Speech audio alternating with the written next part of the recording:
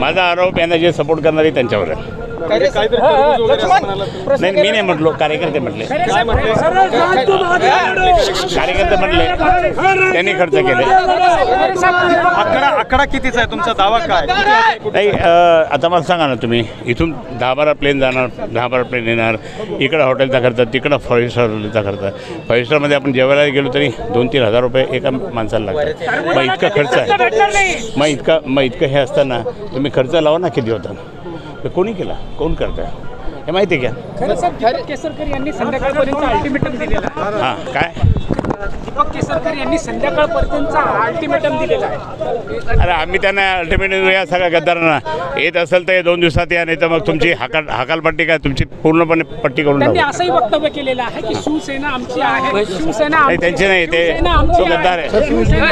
तो गद्दार आहे. गद्दार दीपक साहेबांनी गद्दार आहे गद्दार. आनंद दिघे साहेबांचा सिनेमा तुम्ही पाहिला असेल.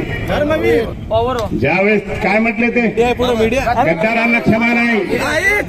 याने गद्दारी केली.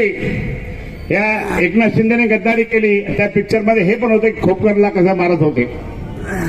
ठाण्याचे शिवसैनिक हे आनंद दिघेंचे आहे. जरा त्याला नगरसेवक केला.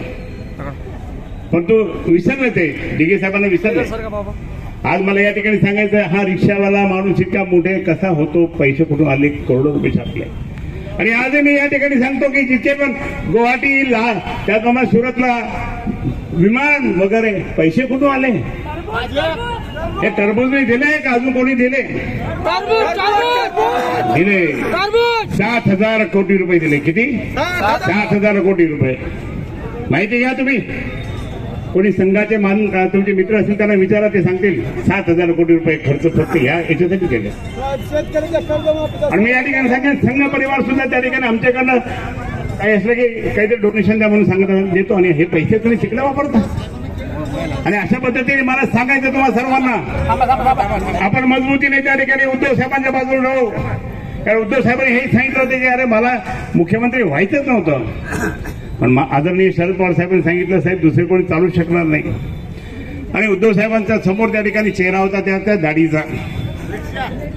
पण शरद पवार साहेबांनी सांगितलं हे कालचं पोरग गेलं कुठं करायचं?